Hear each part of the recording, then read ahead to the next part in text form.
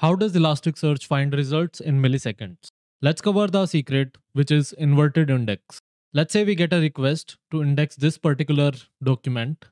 Elasticsearch is fast, and we assign it an ID of doc1. This get tokenized into Elasticsearch and fast, and is is removed since it is a stop word. As a result, the inverted index that is built is Elasticsearch, the word here, the token corresponding to the document ID in which it resides. Same for fast, it is in document 1. Now we get another request, search engine rocks to index this.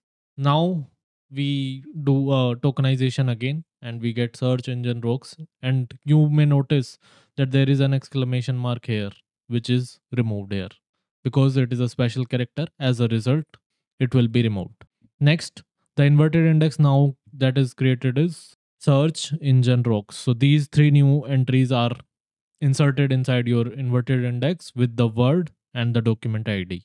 Now, when a request comes to search fast, it is very simple. You look at the inverted index, you store it as a map.